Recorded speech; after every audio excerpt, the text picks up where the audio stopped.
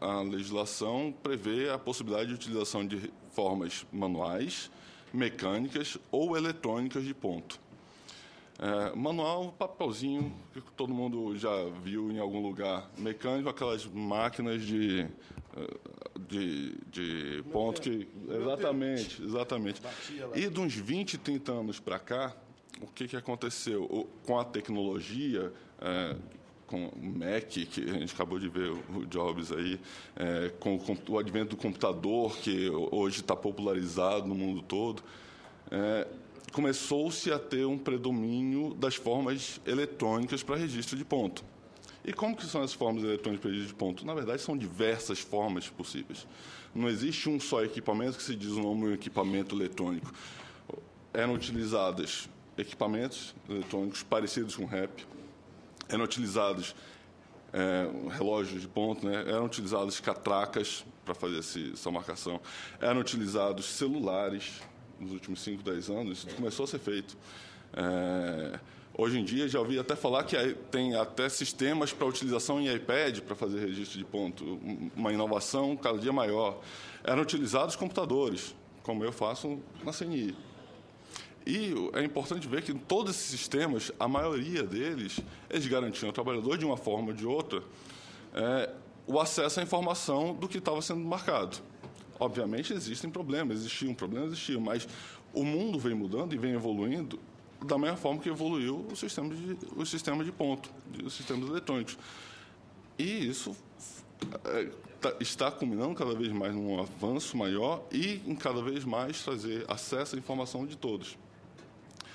É, o, o que, que acontece aí?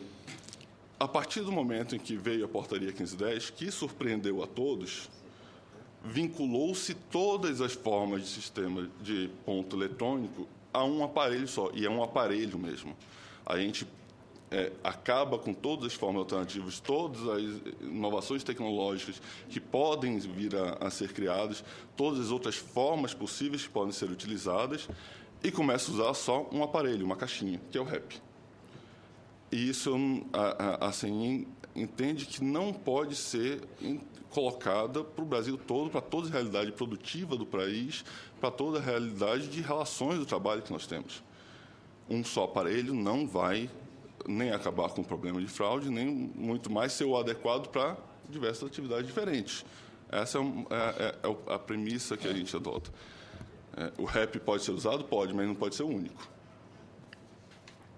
É, mas como que foi construído o REP? É, é, importante a gente ver que efetivamente existem ações de justiça como é direito do trabalhador. Deve existir, deve. Se, se tem problemas, tem que, tem que reclamar, tem que ter denúncia ao Ministério Público do Trabalho, à fiscalização do trabalho, à Justiça do Trabalho, tem que, tem que julgar, tem que agir. Mas é, isso não significa, ao nosso ver, que há um cenário de fraude generalizada. Tanto é que é, é, é importante ver que em 2010, um dado muito interessante é que nós tivemos no Brasil 44 milhões de empregos formais, sendo que em 2010 o número de ações na Justiça do Trabalho iniciadas é em cerca de 2 milhões. Isso daí a gente vê que é, o contexto é de nem meio por cento de empregos formais barra número de ações na Justiça. Não há o que se dizer de fraude generalizada é, é, é um, uma, um entendimento que a gente reputa equivocado.